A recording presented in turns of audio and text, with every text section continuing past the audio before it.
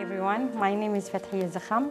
I'm an assistant researcher at Hudaydah University and a faculty member in the Faculty of uh, Medicine and Health Sciences.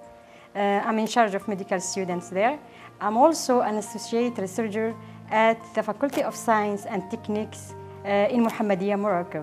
Uh, I've been there for the uh, completion of, her, of uh, my PhD studies and I still have collaborations with them. Many female uh, students are studying uh, medical and chemical sciences, uh, most of them.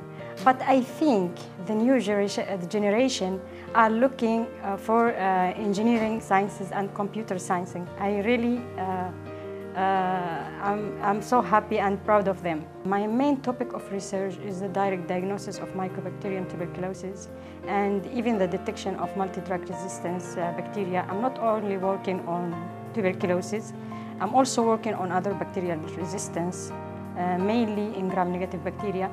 And I'm also uh, uh, working uh, on virology as a microbiologist.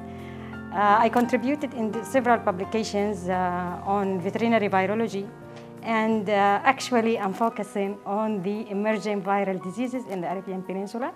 Uh, in the last years, uh, we witnessed the emergence of uh, new viruses that appeared for the first time in the Arabian Peninsula. for my postdoctoral studies, I'm going to work on vaccinology. I'm going to move to India uh, Uh, and join uh, the National Institute of Immunology. Uh, I'm going to join uh, the group uh, of vaccine development. we will work on vaccine delivery system by using polymer particles, nanoparticles. You know, in Yemen, like other developing countries, we have many female scientists who are struggling.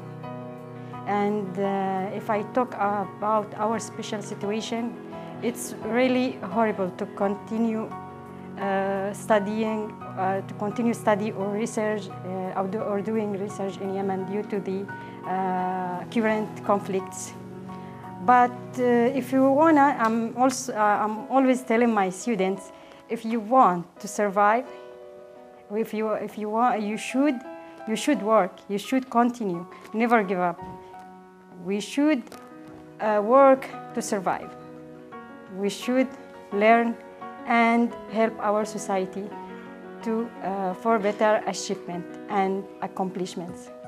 Gro Brundtland Week was a great opportunity for me. I really appreciate uh, the hospitality, the generosity of Taiwanese community. And uh, uh I, uh, I, vis I visited different places and I really enjoyed my stay. I learned from different uh, colleagues, uh, scientific experts. Uh, I met my expectations and uh, I met different experts from across the world.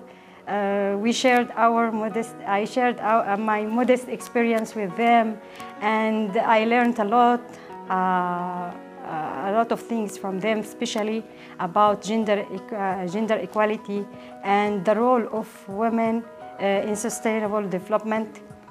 And uh, even more, uh, it, was, it was a forum for exchanging expertise between different scientists from around the world.